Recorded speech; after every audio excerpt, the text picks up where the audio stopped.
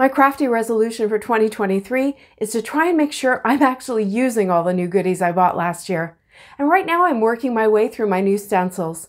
Today I'm going to try out a couple of new techniques with my gel plate, including one that uses five of my new stencils all on one card. Curious? Me too. And if you're someone who doesn't use a gel plate, don't worry, I'm going to show you how to get a similar look with ink blending. I'm starting with a simple technique that gives dramatic results.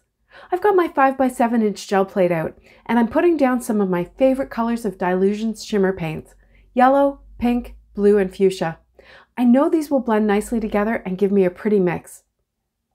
I put down a half sheet of Neenah index paper. This paper is lighter than cardstock, but it's thicker than printer paper, and I actually bought it by accident, thinking it was card base weight, but it turns out I really like it for gel printing. It's a nice layering weight for a front panel. When I pulled it up, I got a mostly pinky purpley sheet with some bright spots of yellow and blue.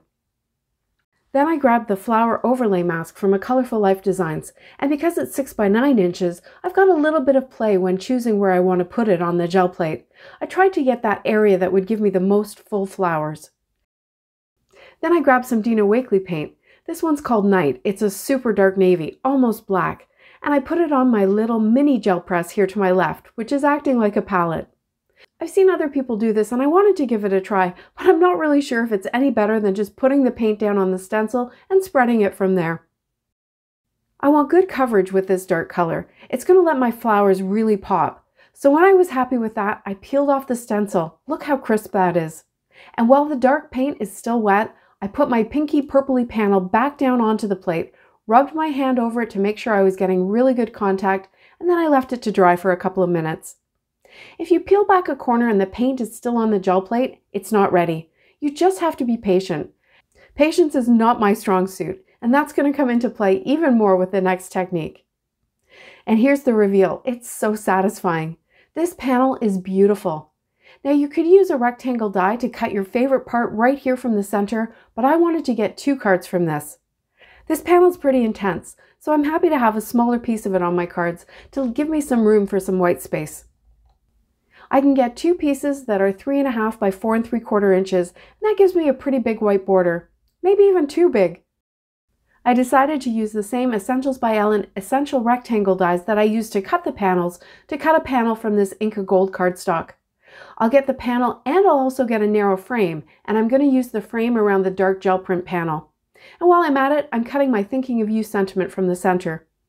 I'm still using this self-healing magnetic cutting deck that I talked about a couple of weeks ago, and I'm still happy with it. No warping and good clean cuts, even with intricate word dies like this. One thing I noticed when I was assembling these cards is that the paint makes the paper pretty slick, and it takes a lot longer for liquid glue to absorb and adhere to it. So I used an acrylic block to put weight on it, and I left it on longer than I normally would, so that none of the little ends of my words were lifting up.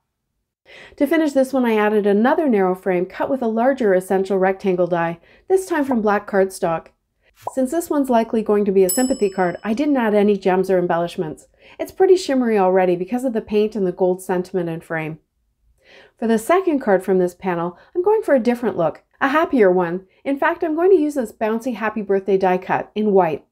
Again, I wanted to narrow the white frame around the panel, and this time I used the largest rectangle mask from the Marvelous Mask set, and I centered it over my card base.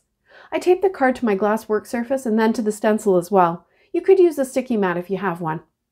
Then I blended some whipped honey ink around the edges, and I followed that up with some sparkling berry. These are both colors from Catherine's Spa collection. They're a little more muted than the party colors, but I'm just trying to create a subtle frame to go around my dark panel. And just a quick note about stacking die cut sentiments. This one was broken, but if you rip a die cut word, it doesn't necessarily have to be thrown away. I've got one clean full die cut, that one can be the top layer, and the ripped one can be the layer underneath. No one will ever know. Now you may get one that is too far gone, but I bet for most of the time you can salvage it to use it as a layer. To finish this one, I popped up the dark panel over that pretty blended frame, added the sentiment, and then some Enchanted Forest gems. The white die cut sentiment keeps the dark panel bright and happy. I'm always amazed how you can use the same panel and get two very different looks. I'm going to do that again with this next multi-stencil technique. This technique is not difficult. There are a couple of guidelines that will help you be successful, and I'll talk about those. but the biggest, hardest one is that you need to be patient. The first guideline is to think in reverse order. So the design you want on the front of your panel has to go first. Maybe that's not reverse order. Or is it reverse reverse order? Anyway, I'm putting the flowers down first. This is the fairy flower stencil and I'm using that night paint, that deep navy, almost black, to put down a layer with my small brayer. I'm trying to be careful not to go over the edges of the stencil, which is 6 by 6 and smaller than the gel plate, but if I do, I can just make sure I remove it before going to the next layer. If you want your flowers in the opposite order, you can flip the stencil over and put the paint through from that side. I also could have moved the stencil along and put more flowers on this. Now this has to be completely dry before we move on, so now's a good time to tell you that today's video is a collaboration with my friend Amy from Amy's Wares. This is our second annual collaboration, where we're sharing what we've made using some of the unused items from our crafty stash.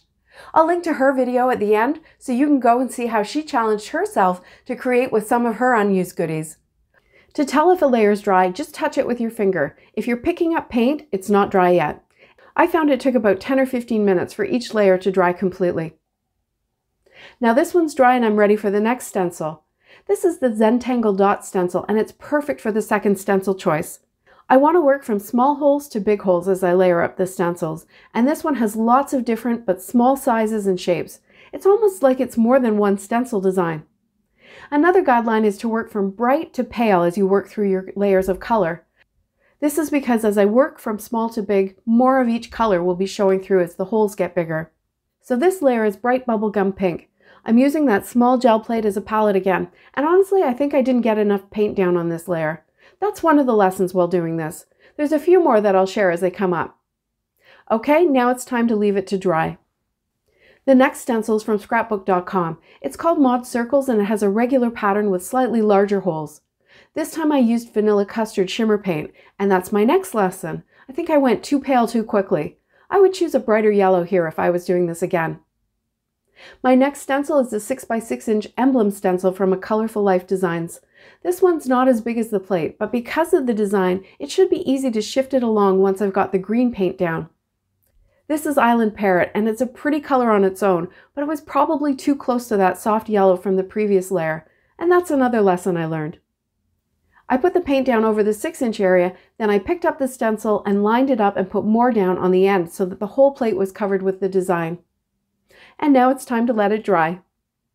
My last stencil is this black ice stencil. It has big open areas so the color will show through a lot of the open areas left on the plate. This time I used Calypso Teal. See when I remove the stencil, you can see all the colors of the previous layers. This is my reward for being so patient. If the paint isn't dry before you move on to the next layer, the colors will blend and you'll lose the patterns. When it's finally dry, then it's time to add a thin layer of white paint over the whole thing. To pull all the paint from the plate to make a print, you need something wet that will stick to both the paper and the paint on the plate. I do have white in the shimmer paint, but all the other colors I've used have shimmer in them. I'm thinking I won't see much of the white anyway, so I used the Wakley paint in white this time. Now the really tough wait. You absolutely have to wait for this to dry or the whole thing will be ruined and all your patience will go to waste. But man, it was hard. But watch the reveal. It made all my patience worth it.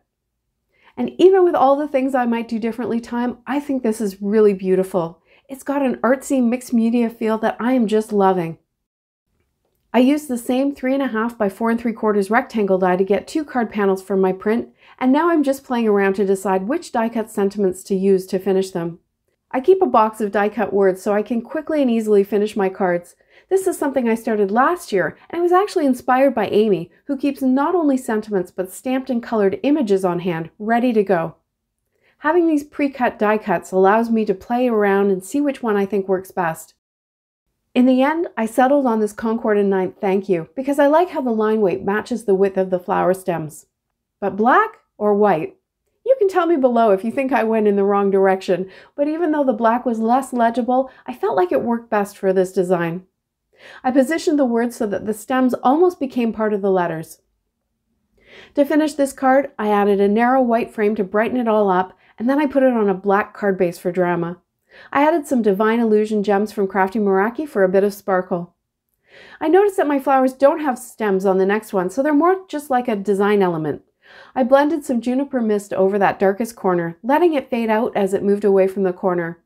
This ink blended really easily, but it took a long time to dry, again because that paper is now slick with the coating of paint.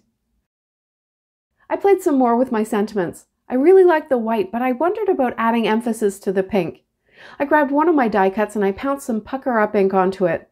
In the end, I decided I liked the white better, but I've got that pink one in a pocket ready for a future project.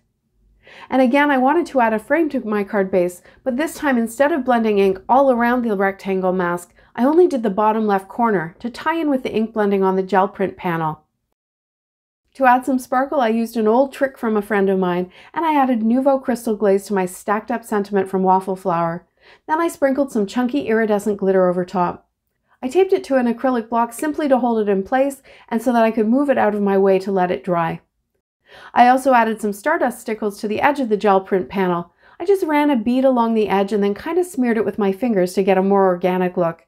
These two steps added sparkle and something special to my card without distracting in any way from that artistic print. I'm so happy with how these two turned out. I really feel like I learned how to get a whole lot more from my stencils and my gel plate. And hey, if you're not a gel plate user, you could do this with ink blending. But this time you really do have to think in reverse. Put the back layer on first with a soft color, then work your way to the front with brighter or darker colors until you put the focal image on last.